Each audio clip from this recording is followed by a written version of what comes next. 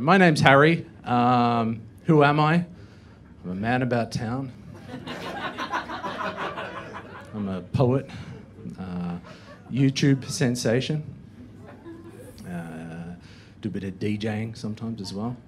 Uh, I'm an English teacher, yeah. Um, yeah. Sorry.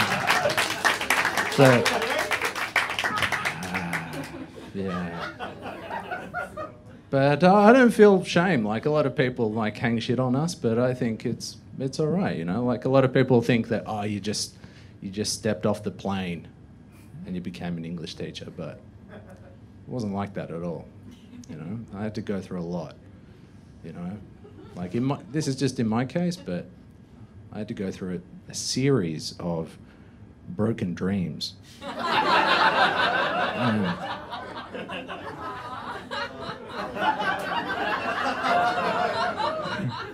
and then I stepped off the plane, so you know it's all fine.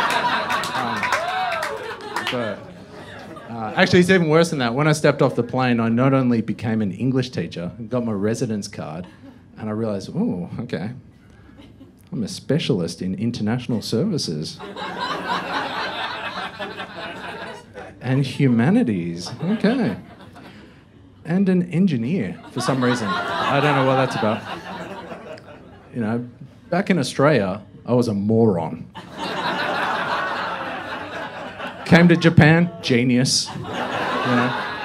It's like, who knew you had to be that talented to work at Steve's Happy Happy English Club? Um, but anyway.